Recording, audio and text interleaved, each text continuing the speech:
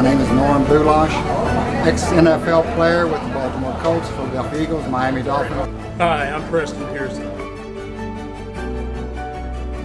My name is Kelly Blackwell from uh, Texas Christian University.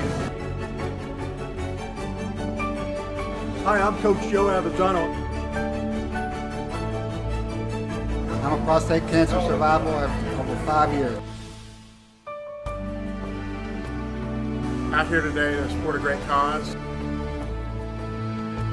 Did you know that one in six guys get prostate cancer?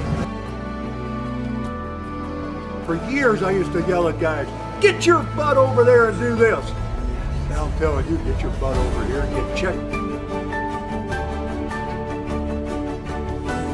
Uh, get it checked because it is curable. If you didn't know, you now know. Did you? I did. Answer, I did. You need to too. Did you? Because I've got to now. Get tested.